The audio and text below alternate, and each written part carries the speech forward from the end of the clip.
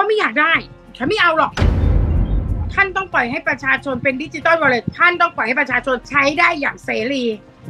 มันไม่ใช่เงินของคุณ ที่คุณเอามาแจก แล้วคุณจะมีสิทธิ์มาสั่งว่า ใช้แบบนั้นใช้แบบนี้ใช้แบบนู้นใช้แบบนั้นมาบังคับมาสั่งอะหลังจากที่กลายเป็นบุคคลที่มีชื่อเสียงเมื่อตอนที่รัฐบาลออกแคมเปญแก้หนี้นอกระบบสำหรับเจ๊เอ๋หรือนัทธารินเกษมสารพิพัฒน์ เพราะเธอคือตัวรันวงการแห่งเจ้าหนี้นอกระบบ ออกมาวิพากษ์วิจารณ์ด้วยความตรงไปตรงมา โดนใจชาวบ้านไปทั่วทุกหัวระแหง เพราะแต่ละครั้งที่ออกมาพูด แต่ละคลิปที่โพสต์ เธอสะท้อนเสียงของชาวบ้านรักหญ้า หาเช้ากินค่ำได้เป็นอย่างดี และตรงจุดแบบร้อยเปอร์เซ็นต์ วันนี้ประเด็นใหม่ที่มาแรงเกี่ยวข้องกับปากท้องของประชาชนโดยตรง นั่นก็คือดิจิทัลวอลเล็ตนโยบายเรือธงของพรรคเพื่อไทยที่เริ่มต้นขึ้นแล้ว และกำลังจะเป็นรูปเป็นร่าง เจ๊เอ๋ก็ออกมาสะท้อนเสียงของชาวบ้านถึงนโยบายแสนล้าน ว่าชาวบ้านตาดำๆบางคนลำบากใจกับนโยบายนี้ แม้ว่าสุดท้ายต้องรับ ต้องร่วม แต่ปัญหาก็คงแก้ได้ไม่ตรงจุด หมื่นหนึ่งของมึงอะ มึงคิดไหมมึงไม่ได้นะมึงเอาเงินดิจิตอลนะให้เซเว่นไปเลย ไม่ต้องห่วงพวกกูนี่นี่ขายอยู่นี่ มันเข้าไม่ได้ มึงดูนี่กูขายแค่เนี้ยกูจะไปเข้าโครงการกับมึงได้ยังไง มึงไม่ต้องมาให้พวกกูไม่ต้องมาห่วงประชาชนไม่ต้องมานำพวกกูนะ มึงทำให้เซเว่นไปเลย โอเคนะเพิ่งได้ยินนะว่าชาวบ้าน ร้านค้าแม่ค้าพ่อค้าบอกว่าไม่อยากได้ ฉันไม่เอาหรอก ปล่อยแม่งเลยใช้นี่ก็ต้องใช้นี่อะเนาะอะไรอย่างเงี้ย มันเป็นมันเป็นความคิดของคนที่จนปอกอย่างพวกเราอะแต่คือกูไม่อยากเอาละกูกูไม่ไม่ไหวเพราะอย่างเช่น ร้านค้า ร้าน ร้านลูกชิ้นอะร้านปลาต้องโก ร้านขายผักบุ้งเขาเขาไม่รับนะ ถามว่ารับแล้วจะไปขึ้นกับใครอะไปขึ้นเงินอะไรอะอย่าลืมนะ คนหาปลา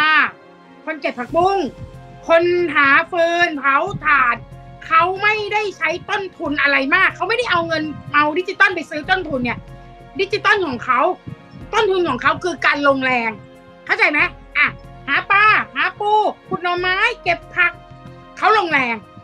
เพื่อได้เงินมา ใช้จ่ายในชีวิตเขา การที่เขาคุณให้ digital wallet เขา เราจะเอา wallet ไปซื้อเขา เขาไม่เอานะ เพราะเขาไม่รู้ว่าเขาจะไปใช้ยังไง ดิจิตอลหนึ่งหมื่นบาท คุณสามารถสแกนจ่ายค่าน้ำค่าไฟ ค่าบ้าน ค่ารถ คุณสามารถจ่ายได้เลย คุณอย่ามาพูดว่า ตอนนี้เรากำลังฝึกให้ประชาชนเข้าสู่ดิจิตอลสแกนทุกวันนี้มันก็ดิจิตอลแล้ว นี่เราก็เข้าแล้ว แน่นอนว่าเมื่อเป็นโอกาสในการดำรงชีวิต ชาวบ้านตาสีตาสา ต่อให้ได้ไม่ถึงหมื่นบาท หลักร้อยหลักพัน สามารถช่วยเรื่องปากท้องได้แน่นอน ซึ่งชาวบ้านคงไม่มีใครไปคิดแทนรัฐบาล ว่าหลังจากนี้จะเอาอยัางไง ตอนนี้เอาเงินได้ก็ต้องเอาก่อน แต่พอได้เงินมาเงื่อนไขที่สามารถใช้ได้ บางคนตั้งใจจะนำเงินไปใช้หนี้แต่ยังไม่รู้เลยว่าจะใช้ยังไง เพราะ 10,000 บาทไม่สามารถใช้ตามความประสงค์ หรือความเดือดร้อนได้จริง ๆ มันไม่ใช่เงินของคุณที่คุณเอามาแจก แล้วคุณจะมีสิทธิ์มาสั่งว่า ใช้แบบนั้นใช้แบบนี้ใช้แบบนู้นใช้แบบนั้นมาบังคับมาสั่งอะ่ะอำนาจอะ่ะ มันก็อยู่ควรจะอยู่ในในขอบเขตที่ความมีอำนาจ แต่ความที่เป็นประชาธิปไตยสิทธิเสรีภาพ ความที่ประชาชนควรจะได้รับอะ่ะมันทำไมถึงไม่ได้โอเค มาวันนี้ประชาชนมันไม่มีสิทธิ์ที่จะพูดอะไรแล้วอะ มันไม่สามารถทัดทานเขาได้แล้วดิจิตอลวอลเล็ตต้องออกแน่นอน คนอยากได้ก็คืออยากได้ กูต้องอยากได้ กูจะเอาจะใช้อะไรยังไง แต่อย่าลืมนะ คุณได้บัตรดิจิตอลวอลเล็ตมาหนึ่งหมื่นบาท ปัจจัยหรือหัวใจของหนึ่งหมื่นบาทชาวบ้านต้องการคืออะไร ต้องการไปใช้หนี้ค่าบ้าน ค่าน้ำค่าไฟ ค่ารถ ใช่ไหมแต่คุณมาจำกัดพวกนี้ใช้ไม่ได้เลย แล้วให้เป็นบัตรนี้คุณเชื่อไหมว่าจะต้องมีร้านค้าหรืออะไรยังไงที่มีทุนหนา รับบัตรนี้ แล้วจะจ่ายเงินให้ประชาชนห้าพันหกพันถามว่าประชาชนเอาไหมเขาเอานะเขาไม่มีทางเลือก นั่นคือช่องว่างซึ่ง รัฐบาลรู้ รัฐบาลบอกทำได้ แก้ไขได้ป้องกันได้ อย่าไปคุยทำไม่ได้หรอก แม้ว่าขณะนี้หลายล้านคนคงได้ลงทะเบียนเข้าร่วมโครงการแล้ว และรอคอยการได้ใช้เงินหมื่น ผ่านช่องทางดิจิทัลวอลเล็ตแพลตฟอร์ม แต่จะมีกี่คนที่ลุกขึ้นมาตั้งคำถาม ว่าเงินงบประมาณแผ่นดินมหาศาลขนาดนี้ กู้มาแล้ว ถ้ากระตุ้นเศรษฐกิจไม่สำเร็จ คนที่ต้องรับผลก็คือประชาชนใช่หรือไม่ วันนี้อยากให้ทำอะไรง่าย ๆ เข้าใจง่าย ๆ ไม่มีความซับซ้อน แต่ทำไมรัฐบาลถึงชอบทำให้ทุกอย่างซับซ้อน อ้างกฎหมาย อ้างนโยบาย จึงทำให้ความยึดโยงกับประชาชนห่างไกลออกไปอีก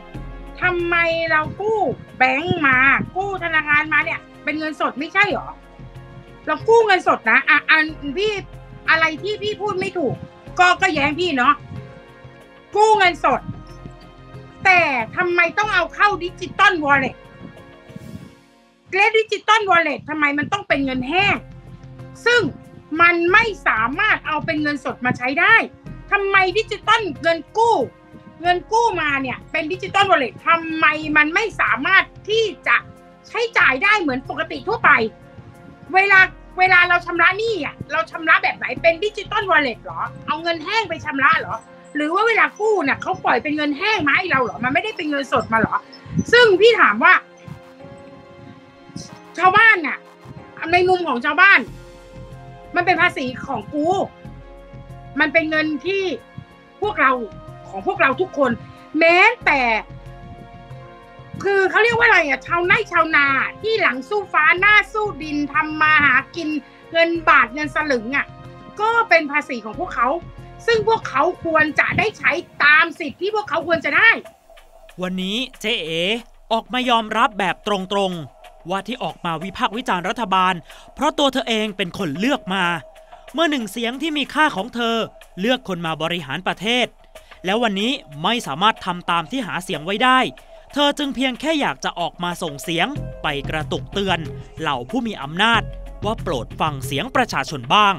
คุณกำลังขุดร่องน้ำไว้อะคุณขุดร่องน้ำไว้หนึ่งร่อง คุณไม่ได้ปล่อยให้น้ำไปตามร่องธรรมชาตินะ คุณขุดร่องน้ำให้ร่องน้ำไปตามทางที่คุณต้องการให้มันไหล เข้าใจไหมอ่า คุณคุณขุดไปแล้วอะ คุณไม่ได้ปล่อยให้น้ำป่าน้ำเขาไหลไปตามธรรมชาติ มันจะไปตรงไหนก็ปล่อยมัน ไปกระจายไปแบ่งน้ำให้ชาวไร่ชาวนาชาวสวนชาวบ้าน คือคุณไม่ได้ปล่อยแบบนั้น คุณปล่อยให้น้ำไปตามร่องที่คุณต้องการให้ไป เสร็จแล้วพี่ถามว่าเอาโอเค วันนี้เราช่วยไม่ได้เราช่วยเราไม่สามารถต้านทานคุณได้แล้วสิ่งหนึ่งที่คุณยัง